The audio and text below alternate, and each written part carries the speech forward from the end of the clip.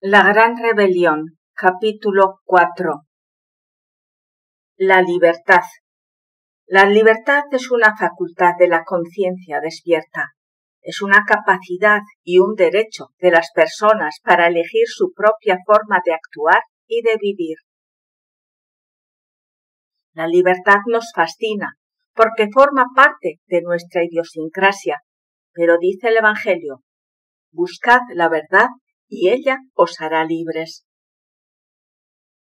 Mientras estemos inmersos en nuestro propio ego, que repite sus maldades derivadas de los pecados capitales, de los celos o del amor propio, inclinados siempre a ser discípulos del mal, viviremos reaccionando. Esa es la retórica del ego. Por ejemplo, si nos hablan mal de alguien y quedamos identificados, lo criticamos y así nos convertimos en jueces y luego pasamos a ser jueces tiranos y jueces malvados. En estas condiciones nos alejamos cada vez más de la verdad. No tenemos objetividad y por lo tanto nos alejamos también de la libertad. La verdad es un atributo del Padre, como valor del alma, ¿Cómo podría tener fe un mentiroso? Los dones del Padre no pueden vivirlos quienes están llenos de defectos y de vicios. Somos esclavos de nuestras propias creencias, por lo que brilla por su ausencia la verdad y por lo tanto la libertad. Busquemos el resorte secreto de todas las actividades y hallaremos al ego oculto desconocido e instigando, que no sale a la superficie, pues permanece agazapado en el sepulcro del subconsciente, esperando el momento preciso para salir.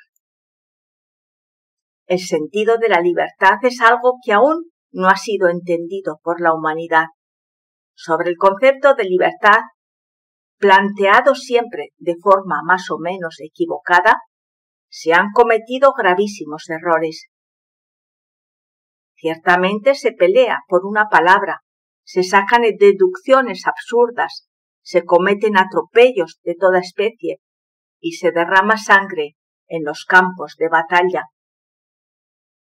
La palabra libertad es fascinante, a todo el mundo le gusta, y sin embargo no se tiene verdadera comprensión sobre la misma. Existe confusión en relación con esta palabra. No es posible encontrar una docena de personas que definan la palabra libertad de la misma manera.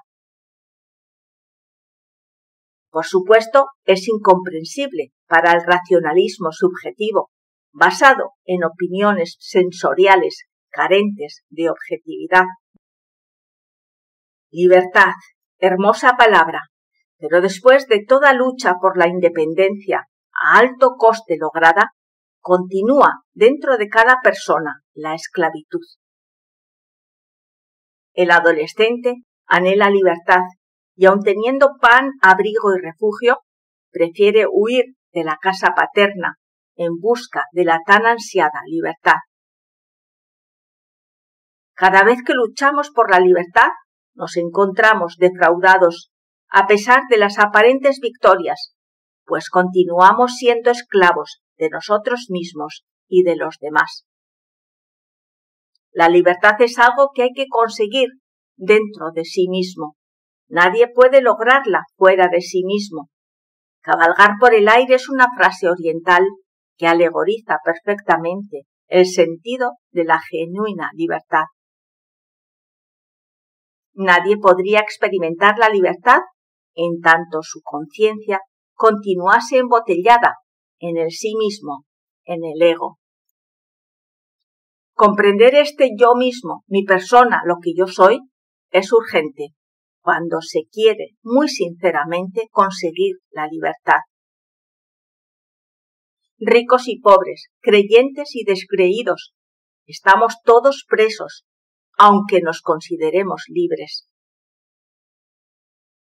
El sentido de libertad solo puede ser comprendido íntegramente cuando han sido aniquilados los grilletes de nuestra propia cárcel psicológica.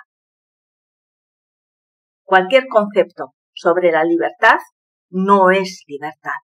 Las opiniones que nos forjamos sobre la libertad distan mucho de ser la realidad.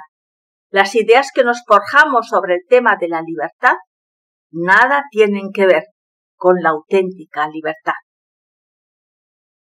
Más vale vernos a sí mismos tal cual somos, observar cuidadosamente todos estos grilletes de la esclavitud que nos mantienen enjaulados. Autoconociéndonos, viendo lo que somos interiormente, descubriremos la puerta de la auténtica libertad. Así dice Juan 8. De cierto, de cierto os digo, que todo aquel que hace pecado, esclavo es del pecado. Y el esclavo no queda en la casa para siempre, pero el hijo sí. Sí queda en la casa para siempre. Así que si el hijo os libertase, seréis verdaderamente libres.